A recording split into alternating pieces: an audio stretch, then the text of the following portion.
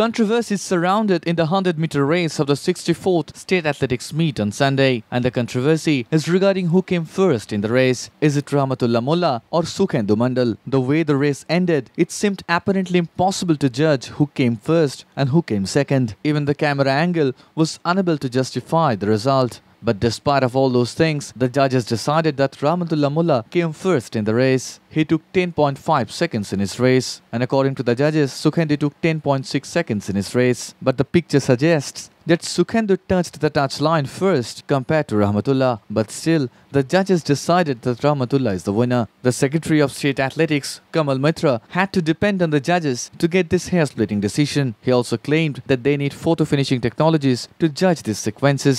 আগামী দিনে অভিযোগ আমরা ফটো ফিনিশ আনবো তখন আর এই সমস্ত অভিযোগ থাকবে না চেষ্টা করতে হবে তা নাহলে তো এইসব অভিযোগ বাড়বেই আরও কারণ সবাই সবার অভিযোগ করতে পারে আমি কিন্তু বাইরের থেকে আর একদম প্যারালা লাইনের যদি না দেখা যায় তাহলে এগুলো ঠিক বোঝা সম্ভব না। দূর থেকে এগুলো বোঝা যায় না। But the question is who forbade them to keep those technologies in this competition if the technologies would have been there so can the Mendel would not had to roam about aimlessly with a depleted face আমি যখনই chess finishing করি তখন পাশে ও আসছে দেখতে মানে দেখতে পেয়েছি কিন্তু চেস্ট ফিনিশিং আমি করেছি তোমার কি মনে হয় যে মানে কোথাও কি তোমার সন্দেহ হচ্ছে যে সন্দেহ তো হচ্ছে যদি আমি একবার মানে এটা দেখতে পেতাম মানে কি বলে ফিনিশিংটা ভালোভাবে। পাশাপাশি থেকে যেটা দেখতে পেতাম যদি খুব ভালো হতো।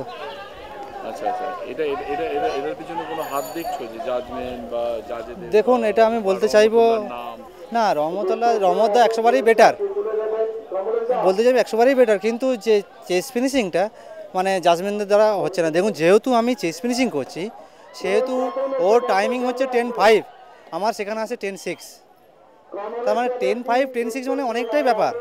সেটা কি করে হয়? But Rahmatullah doesn't want to enter into the controversy he said it's all on the hands of the জাজেস who are to give the verdict he also said it doesn't give any kind of a thrill to Rahmatullah in this days when it comes fastest in the side দেখুন আমার তো আমি সেই দু হাজার এক থেকে করে আসি। এখন তো পড়তি বয়স। প্র্যাকটিস আমি ঠিকঠাক করি না।